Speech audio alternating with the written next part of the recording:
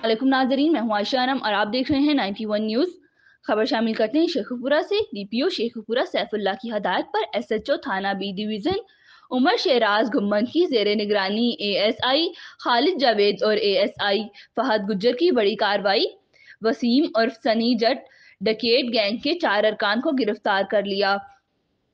मुलजिमान के कब्जे से नकदी रकम, असलहा और माल मसरूका बरामद कर लिया। मजीद जानते हैं अपने नुमाइंदे खिदर हयात की इस रिपोर्ट में। जी, बिल्कुल। सनी डकैत गैंग को गिरफ़्तार कर लिया गया है। गिरफ़्तार मुलजमान से दौरान तफ्शीश, नकदी रकम, सोलह लाख अस्सी हज़ार रुपये बरामद और इसके अलावा सात तोला तलाई जेवर छः अदद मोबाइल फ़ोन एक अदद क्लाशन को पाँच अदद पिस्तौल बरामद कर लिए। वसीम और सनी जट डकैत गैंग संगीन वारदातों में मतलूब थे, जो बारी बारी आपस में रबता करके इकट्ठे हो जाते और घरों दुकानात, स्टोर्स पर नकबजनी डकैती राहजनी की वारदातें करके फरार हो जाते।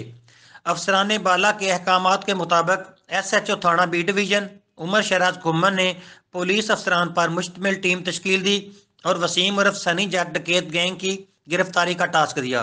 टीम की खुद सुपरविजन की और मुलजमान को गिरफ़्तार कर लिया, जबकि S P investigation Nasir Mahmood ने मुतई मुकदमा से लूटी गई रकम पंद्रह लाख पचास हज़ार रुपये वापस कर दी।